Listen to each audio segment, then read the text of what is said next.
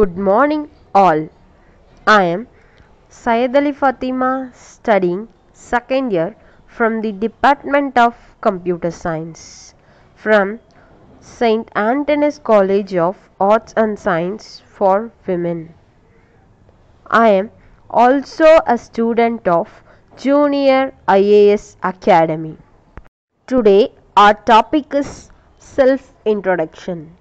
இன்னைக்கு நம்ம என்ன பார்க்க போகிறோம் அப்படின்னா self introduction so self introduction explains who you are what others need to know about you it identifies you when you are speaking with strangers self introduction அப்படின்னா நம்மளைய மற்றவங்களுக்கு அறிமுகப்படுத்துதல். தன்னை அறிமுகப்படுத்துதல். அதாவது இப்போது ஒரு தேர்ட் பர்சன் கிட்ட போனோன்னா நம்மளை இன்ட்ரடியூஸ் பண்ணிட்டு அதுக்கப்புறம் தான் நம்ம பேச முடியும்.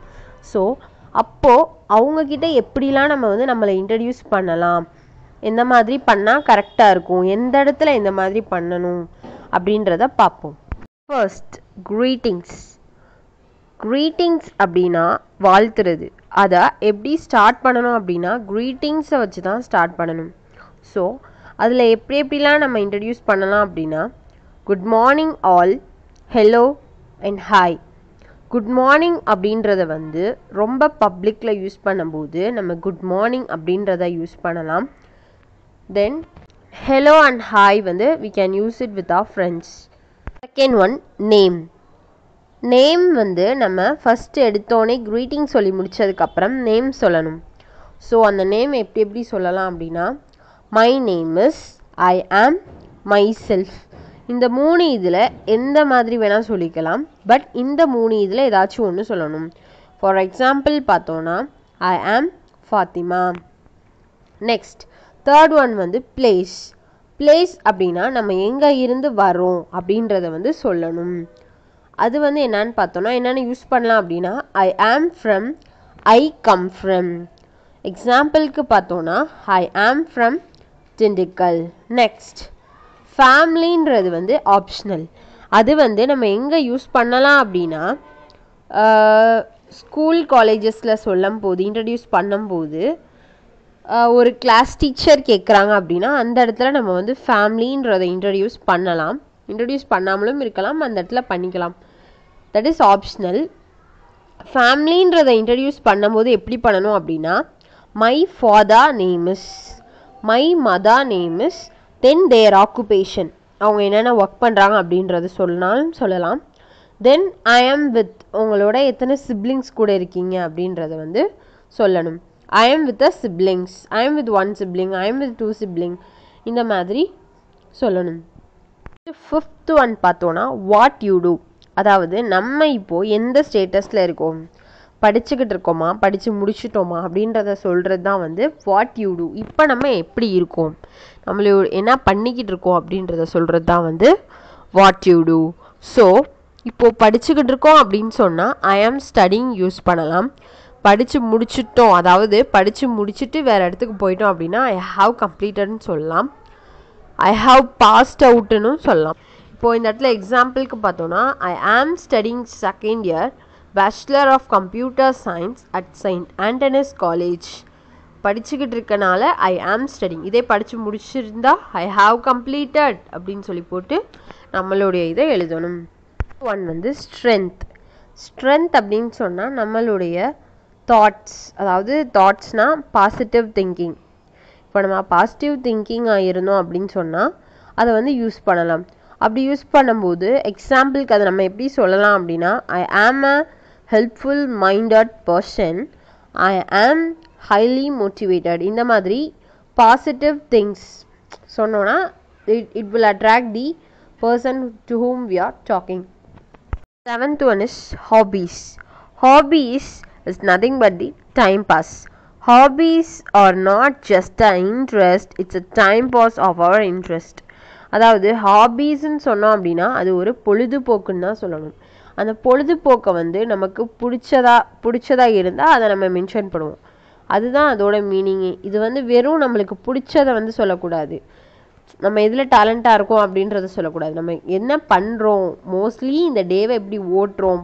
டைம் பாஸ் பண்ணுறது தான் வந்து ஹாபீஸ் அந்த இதில் எது நம்ம இன்ட்ரெஸ்ட்டாக ரொம்ப நேரம் அதுலேயே டைம் ஸ்பெண்ட் பண்ணுறோம் அப்படின்றத சொல்லணும். அதுக்கு பேர் தான் hobbies hobbies is not just an interest it's a time pass of our interest நம்மளோட டைம் பாஸில் இன்ட்ரெஸ்ட்டாக நம்ம பண்ணிகிட்டு இருக்கிறதுக்கு பேர் தான் ஹாபீஸ் தென் அதுக்கு ஒரு எக்ஸாம்பிள் பார்த்தோன்னா இப்போது my hobby is playing carrom அப்போனா நான் வந்து மோஸ்ட்லி கேரம் ப்ளே பண்ணுறதுல டைம் ஸ்பெண்ட் பண்ணுறேன் அதனால் நான் என்ன போட்டிருக்கேன்?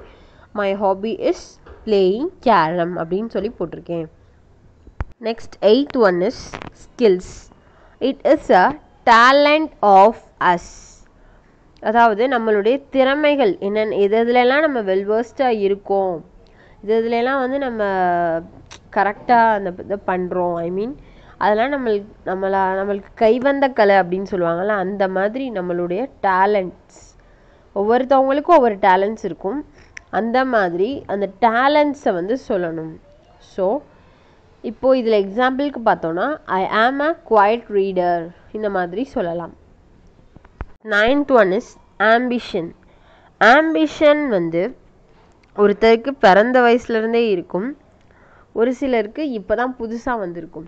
அந்த ஆம்பிஷன் வந்து நம்ம யூஸ் பண்ணுற இன்ட்ரடியூஸ் பண்ணுற இடத்தை பொறுத்து தான் இன்ட்ரடியூஸ் பண்ணணும் இப்போது நார்மலாக சும்மாவே நம்ம நம்மளோட ஆம்பிஷன் சொல்கிறோம் அப்படின்னு சொன்னால் நம்மளோட லாங் டேர்ம் லாங் டேர்ம்னா நம்மளுடைய சின்ன வயசுலேருந்து நம்மளுக்கு இருக்குது இப்போ வரைக்கும் அந்த ஆம்பிஷன் தான் எனக்கு இருக்குது அப்படின்னு சொன்னால் அந்த ஆம்பிஷனை வந்து நம்ம சொல்லலாம். எந்த இடத்துலனாலும். பட் இப்போ ஒரு கம்பெனி அப்படின்னு சொன்னால் அந்த கம்பெனிக்கு போய்கிட்டு போயிட்டு நம்மளுடைய லாங் டேர்ம் ஆம்பிஷன் வந்து அதுக்கு ஆப்டாக இருந்தால் தான் சொல்ல முடியும். இல்லைன்னா சொல்ல முடியாது. ஸோ அந்த இடத்துல வந்து நம்ம என்ன சொல்லணும் அப்படின்னு சொன்னால் அந்த கம்பெனிக்கு ஆப்டாக இருக்கிற ஒரு ஆம்பிஷனை சொல்லணும். அதாவது அந்த கம்பெனிக்கு ஆப்டானா அந்த ஜாபு சம்மந்தப்பட்ட ஒரு ஆம்பிஷன் தான் சொல்லணும். ஜாப் இன்டர்வியூவில் போய் அதனுடைய ஆம்பிஷன் தான் சொல்லணுமே தவிர நம்மளுடைய ஆம்பிஷனை வந்து சொன்னோன்னா அந்த இடத்துல அது கரெக்டாக வராது. ஆம்பிஷனுன்றது நம்ம வந்து இப்போ ஒரு மெயின் பிளேஸில் பப்ளிக்லையோ அந்த மாதிரி சொல்கிறோம் அப்படின்னு சொன்னால் நம்மளுடைய ஆம்பிஷனை சொல்லலாம். பட் ஜாப் இன்டர்வியூஸில் அதை வந்து நம்ம சேஞ்ச் பண்ணி அந்த ஜாபுக்கு ஏற்ற மாதிரி தான் சொல்லணும். நெக்ஸ்ட் டென்த் ஒன் பார்த்தோன்னா ரெஸ்பான்சிபிலிட்டி ரெஸ்பான்சிபிலிட்டி அப்படின்னா when you are a leader or a member of a club அதாவது நம்ம ஒரு ஒரு குழு ஒரு குழுவோட மெம்பராகவோ இல்லை ஒரு லீடராகவோ இருந்திருப்போம். நம்மளுடைய ஸ்மால் ஏஜ்லேயோ இல்லை காலேஜஸ் ஏஜ்லேயோ இருந்திருப்போம். அப்போ வந்து அதை வந்து மென்ஷன் பண்ணலாம் அப்படின்றது தான் அப்போது இதில் என்னன்னு சொல்லலாம் அப்படின்னா ஒரு எக்ஸாம்பிள் சொல்லணும்னா இப்போ ஒரு என் என்ஜிசி என்எஸ்எஸ் அந்த மாதிரி நிறையா கிளப் இருக்குது அதில் நம்ம பார்ட்டிசிபேட் பண்ணியிருந்தோன்னா அதை சொல்லலாம். தென் ஒரு லீடர்னால் ஒரு ரெப்ரசன்டேட்டிவாகவோ ஒரு பெரிய லீடராகவோ அதாவது இப்போ ஸ்கூல் லெவலில் பெரிய லீடர் காலேஜ் லெவலில் பெரிய லீடர் அந்த மாதிரி இருந்தாவோ அதையும் சொல்லலாம். எக்ஸாம்பிளுக்கு பார்த்தோன்னா I am an active participant of NSS இப்போது இதை எந்தெந்த இடத்துல எதை எதை யூஸ் பண்ணுறது அப்படின்னு சொல்லி பார்த்தோன்னா பப்ளிக் பாடிஸில் வந்து என்னென்ன யூஸ் பண்ணலாம் அப்படின்னா greetings name place family what you do strength hobbies skills ambition responsibilities இதெல்லாம் வந்து யூஸ் பண்ணலாம். தென் ஜாப் இன்டர்வியூக்கு வந்து நம்ம என்னென்ன யூஸ் பண்ணணும் அப்படின்னா greetings name place, what you do, strength, hobbies, skills, ambition, responsibilities இதெல்லாம் யூஸ் பண்ணலாம் தேங்க்யூ